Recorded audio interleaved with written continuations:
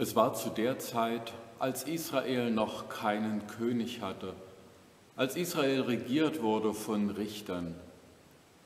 Zu dieser Zeit lebte im Gebirge Ephraim ein Mann mit dem Namen Elkana. Der hatte zwei Frauen, Penina und Hannah.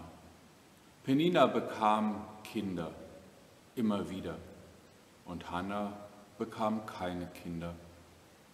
Hannah war traurig, zutiefst traurig. Und es wurde noch schlimmer, weil Penina die ganze Zeit stichelte und lästerte und Hannah beschimpfte. Hannah litt sehr. Sie litt unter der Missachtung ihrer Nebenfrau. Sie litt unter der Missachtung der Gesellschaft und traurig war sie. So ging sie in den Tempel und betete betete und betete. Der Priester sah sie dort sitzen und er sah, wie sie ihre Lippen bewegte, hörte aber keinen Ton.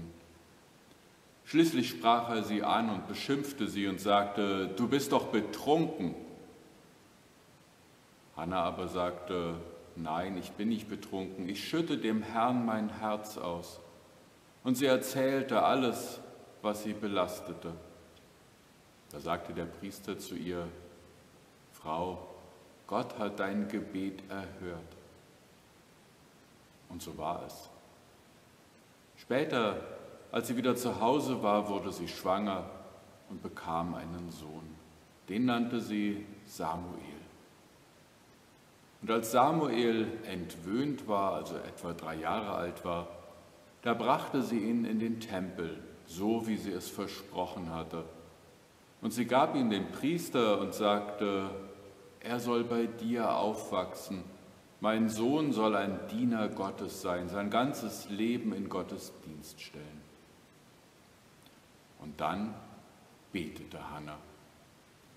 Sie betete und sagte, meine Seele ist fröhlich im Herrn.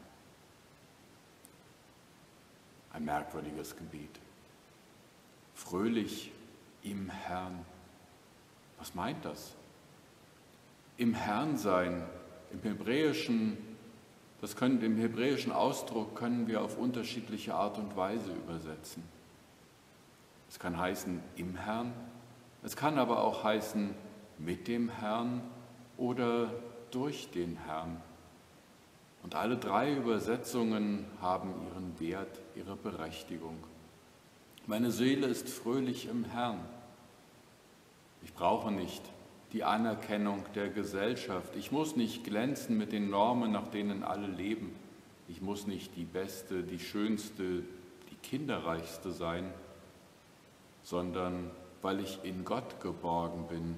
Darum kann mein Herz sich freuen. Geborgenheit nicht in der Anerkennung der Gesellschaft, nicht in unseren eigenen Leistungen, nicht in unserer eigenen Stärke, sondern Geborgenheit in Gott.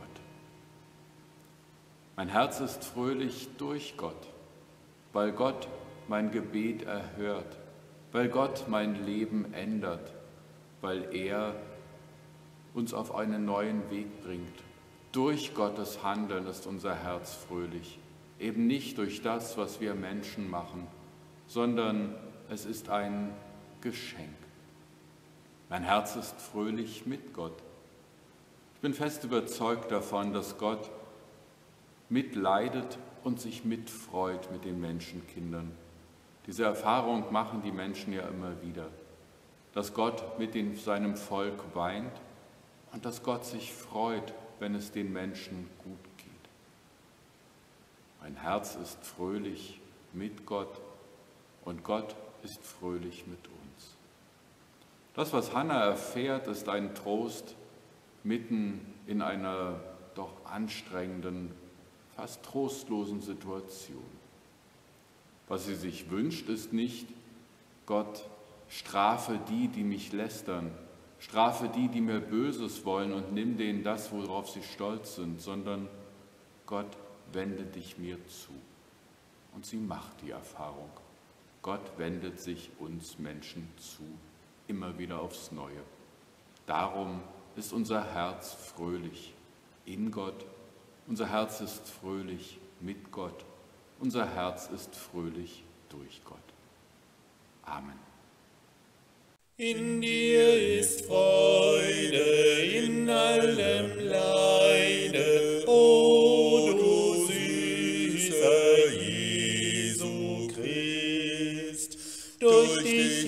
haben himmlische Gaben, du der wahre Heiland bist. Hilfest von Schanden, rettest von Banden, wer dir vertrauet,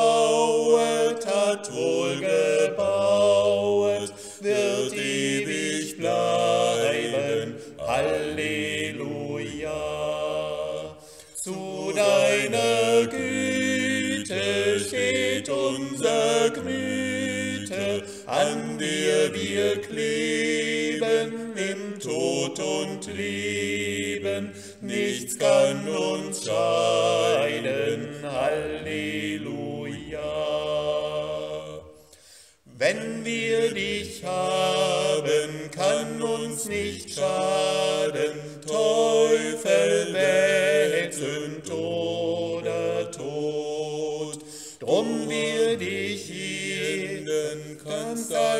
alles wenden, wie nur heißen mag die Not. Drum wir dich ehren, dein Lob vermehren, mit hellem Schalle